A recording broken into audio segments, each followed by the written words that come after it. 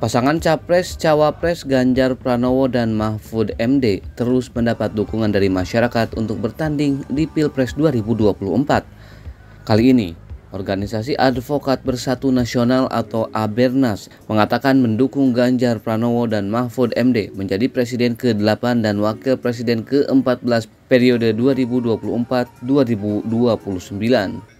Abernas yang beranggotakan 200 advokat merupakan sayap organisasi dari organ KGBN yakni Kawan Ganjar Bersatu Nasional.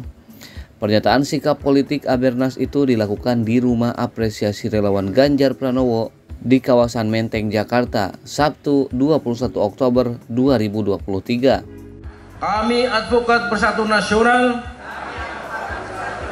menyatakan sikap kami mendukung sepenuhnya Bapak Haji Ganjar Pranowo sebagai Presiden Republik Indonesia dan Bapak Profesor Mahfud MD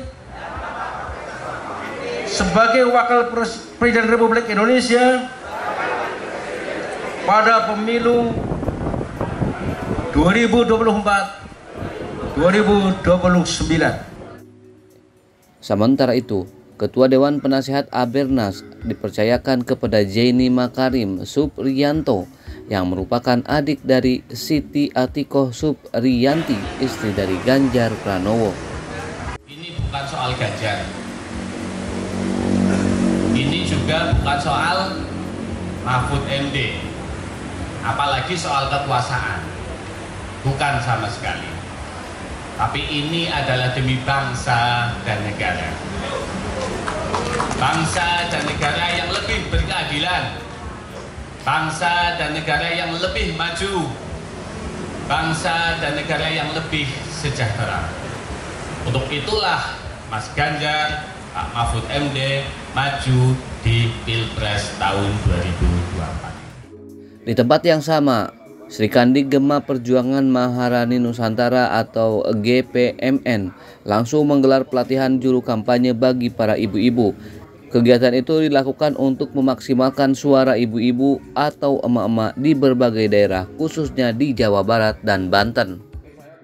Ya, tips-tipsnya nomor satu tentunya kita harus yakin dulu ya, terus nomor dua pelajari tentang calon kita ya, Pak Ganjar dan Prof Mahfud pelajari tentang rekam jejak mereka, prestasi-prestasi mereka, jabatan-jabatan yang pernah mereka emban, jabatan mana, dan ketika menjabat apa saja prestasi-prestasi mereka, itu yang nomor dua. Nomor tiga tentunya mempelajari tentang diri kita sendiri, atau diri ibu-ibu tadi.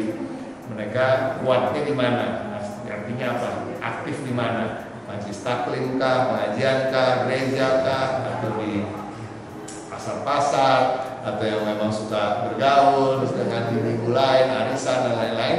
Nah, kalau kita sudah tahu di mana tempat kita untuk uh, turun dan berkampanye, ya di situlah kita mulai mengaktifasi diri, terus uh, mensosialisasikan calon